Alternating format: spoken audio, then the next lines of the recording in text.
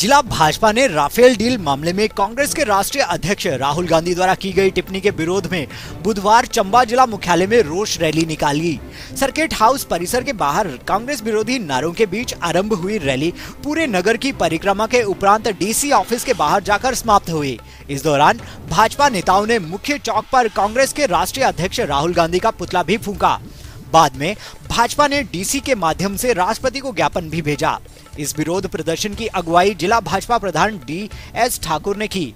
विरोध प्रदर्शन में सदर विधायक पवन नैयर, जिला भाजपा उपाध्यक्ष जसवीर नागपाल, चंबा भाजपा मंडलाध्यक्ष विनोद कुमार, महामंत्री धीरज नरियाल, प्रकाश कपूर, हितेश गर्ग, कैप्टन मुस्दी राम, टेकचंद टंडन, देशराज बसंत भाजयुमो जिला प्रधान विनायक रैना समेत काफ़ी तादाद में भाजपाई मौजूद रहे।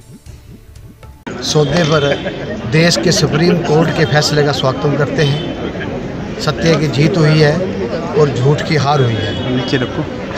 सुप्रीम कोर्ट के फैसले से ये सिद्ध कर दिया है कि झूठ के पाँव नहीं होते और विजय की हमेशा जीत होती है।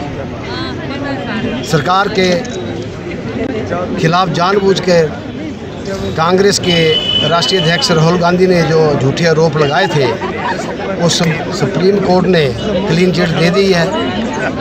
भारतीय जनता पार्टी राहुल गांधी के इस झूठ बोलने पे राहुल गांधी के इस्तीफे की मांग करती है और भारतीय जनता पार्टी ने जो देश हित में काम किए हैं, वो कांग्रेस को नहीं पच रहे हैं। अब वो झूठ का सहारा लेके सत्ता हथियाने के झूठे आरोप लगा रहे हैं और भारतीय जनता पार्टी इसका कड़ा विरोध करती है।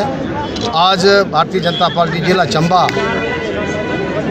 एक धरना प्रदर्शन राहुल गांधी के विरोध में कर रही है कि राहुल गांधी अपने पद से तुरंत इस्तीफा दिव्य हिमाचल वेब टीवी के लिए चंबा से दीपक शर्मा की रिपोर्ट।